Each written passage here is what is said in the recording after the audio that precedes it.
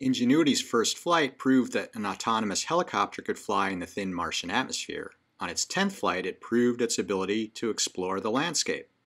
Tango Delta. Touchdown confirmed. Perseverance safely on the surface of Mars. Years before Ingenuity flew on Mars, many flight tests were done inside a vacuum chamber with about 1% of Earth's atmospheric pressure. This is the pressure at the surface of Mars, the equivalent of about 100,000 feet up in skies over Earth where no helicopter has ever flown. But that was only half the challenge. Ingenuity would also need to fly completely on its own because of the long delays in radio communication between Earth and Mars, so no joysticking. Here's the final version of Ingenuity seen shortly after it was deployed on Mars, and here's Mars Guy for scale. Two counter-rotating blades are used to keep it from spinning.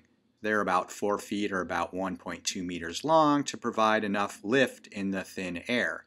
You can see the final design of the carbon fiber feet, which show up in all of the images taken with Ingenuity's two cameras. Ingenuity was designed as a technology demonstration, a proof of concept, but its incredible success proved that it was ready for real exploration. The floor of Jezero crater has many large fractures of uncertain origin.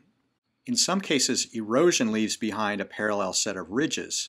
One explanation is that mineral-rich water moved through the fractures and armored them, making them more resistant to erosion. Ingenuity was given the task to take a closer look. If they're interesting, Perseverance could then get involved. Here's the flight plan for Ingenuity's first scouting mission. I flipped the scene to orient it in the direction of the images it took. The plan was to scope out the raised ridges from multiple waypoints. Most of them are in pairs to produce stereo images for 3D rendering. Nothing like this was ever planned for Ingenuity during its development. I've tried to recreate the sights and sounds of what this scouting mission was like. The audio comes from the testing chamber on Earth, and the video is from earlier flights.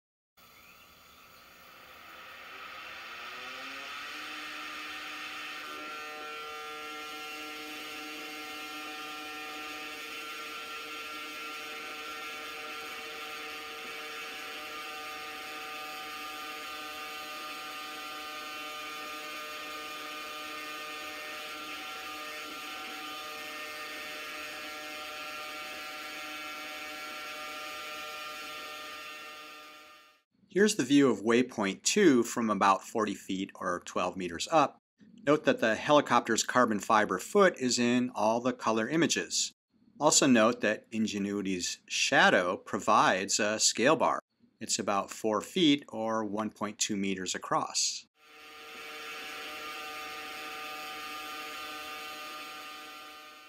Waypoint 3 is the second image in the stereo pair. Switching back and forth between the two shows the separation.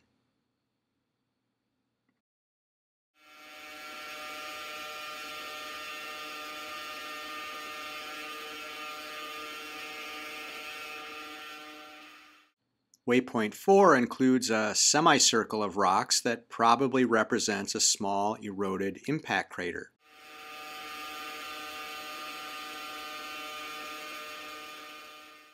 And here's the accompanying image for the stereo pair.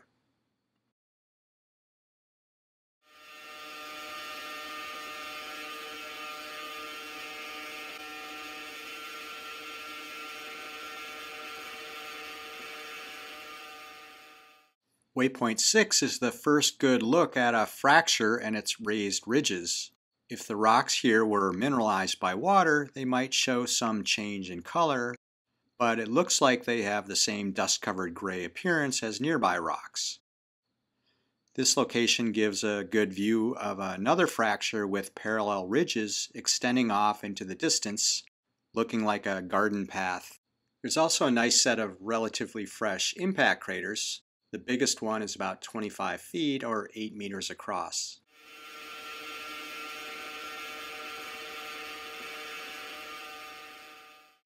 Waypoint 7 provides the perfectly oriented stereo pair for this interesting scene.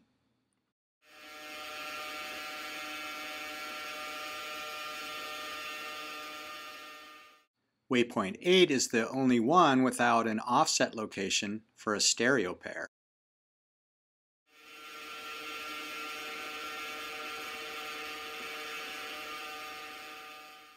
The rocks in the raised ridges at waypoint 9 also don't show obvious evidence of water alteration.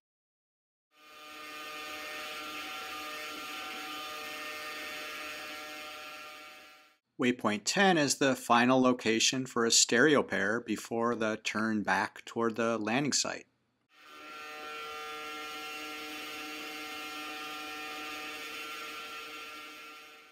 Flying backward, Ingenuity tilted up just enough to get this great context shot of the raised ridges and the distant rim of Jezero crater. There's also an appearance by the Kodiak Mesa Delta remnant.